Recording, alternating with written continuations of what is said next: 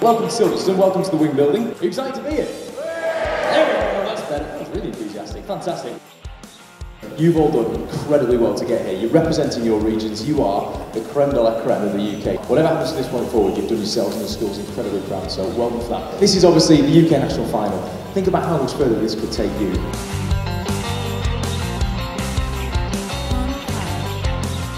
Jaguar Land Rover run these programs because we want to inspire and look for future engineers. It's fantastic to look out, out here at all these excited faces. You think you've done the hard work, this is the hard work now today. And of course, the winners from today are going to go to the World Finals, which is going to be fantastic. I wish you all of the best, all the best for that. And uh, please do your best today, but most of all, enjoy it. I hope you go away today feeling really excited, really inspired, so you can think about what your careers are going to be going forward.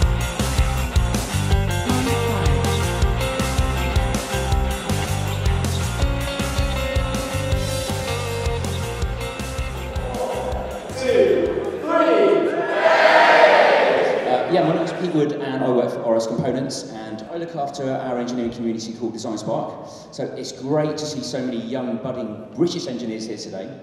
And over, I think it was last week, we ran a competition on our Raspberry Pi Society page on Facebook for which we got all of you guys to send a picture of your vehicles. And it was basically a beauty contest, the best looking one with the most number of likes won. And so I'm here to announce the winners. And uh, without further ado, am I pointing? The winner is the Healing School. Congratulations. Can we have you up here, please, and we'll give you your prize. Just enough to go around. There we go. That's it. Thank you. Oh, shall I come into? Honda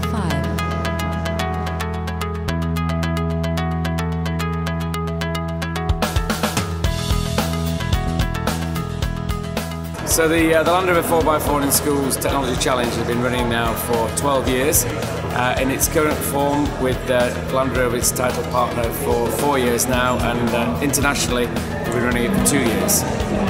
Yeah, we've had over 100 schools involved in the challenge this year, so we held six regional finals and in total about uh, 75 schools took part. I am Joy Merriweather, I'm the team manager of the Docks. We're from Wood Farm High School and we're just going to talk about our car with our Raspberry Pi in it. We are the Healing Road Runners and we represent Healing School. Um, our name is the Pink Dragons and we come from Webster's High School up in Kirriemuir. We are Barney 4x4 and we are Barney Castle School. We represent them. Um, our team name is Pink Lemonade and we represent the Pro Academy Alice. So we're Team Dimension and we're from Brighton Ashmore.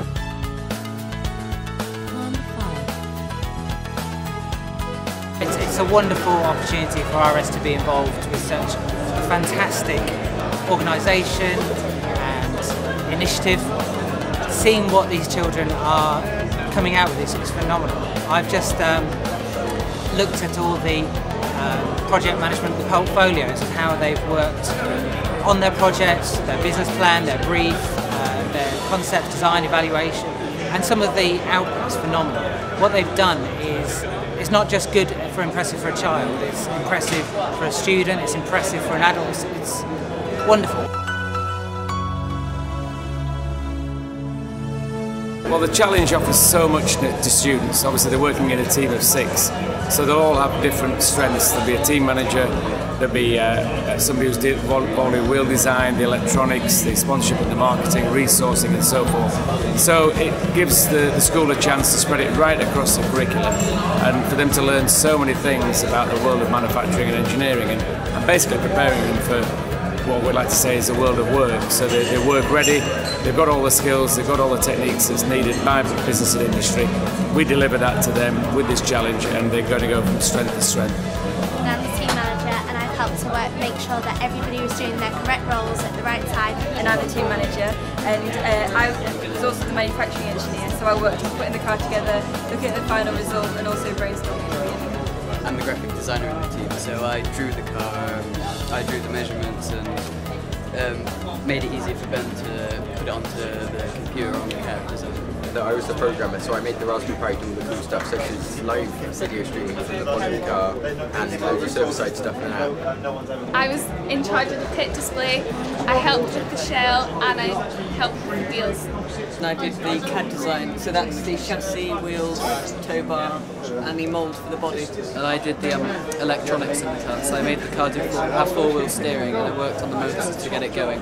I used the Raspberry Pi to control the lights and tilt the our.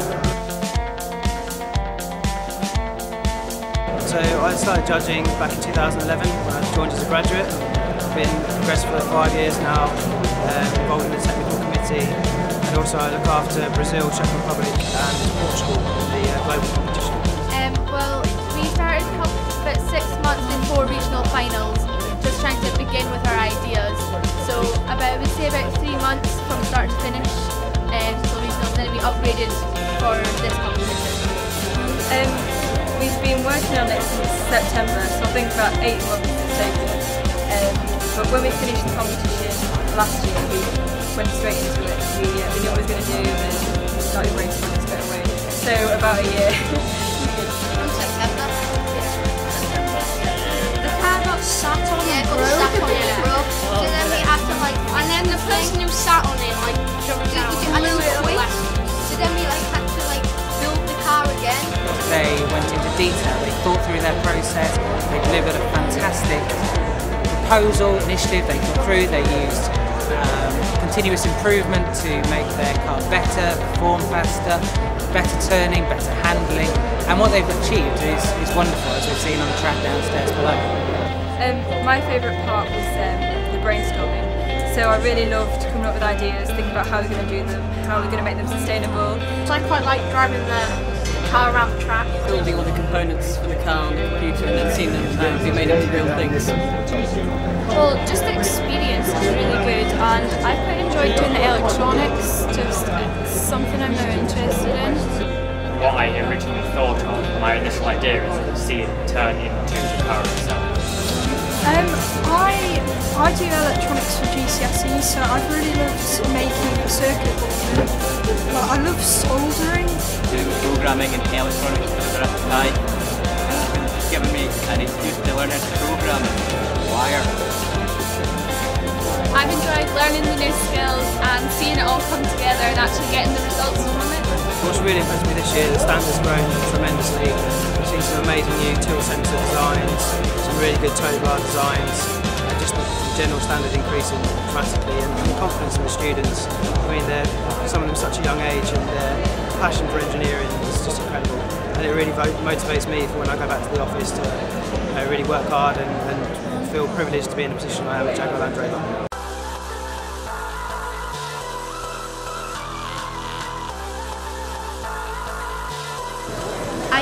Working with people I wouldn't necessarily work with usually, so it was interesting to work with a different range of people, and I found that really fun. The car, modifying it, and just coming here. To understand how engineering actually works, not just from looking at it, from actually taking part. Um, I've enjoyed like using like your assets to help. So like I like designing and art, so that's helped, and it's something you wouldn't learn in the curriculum normally. I enjoyed making the cool stuff, so I made it talk, which was amazing. I think actually the biggest thing that's struck me is their problem solving ability. I just had a conversation with a 15 year old guy and he has a problem where his car is twisting when they turn sharply and that's unsettling the car. The fact that he's talking about weight distribution, he's talking about PWM motor control, he's talking about the distance between the tracks and suspension and the stiffness of it from a 15 year old is wonderful. The fact they're having that conversation, the fact they're mixing electronics with mechanical engineering, with automotive engineering, and they're accomplishing something. You know, they're being rewarded through this, they're seeing the performance um, themselves in how their car performs, in what they're outputting, and I've no doubt that this work will benefit them in the future.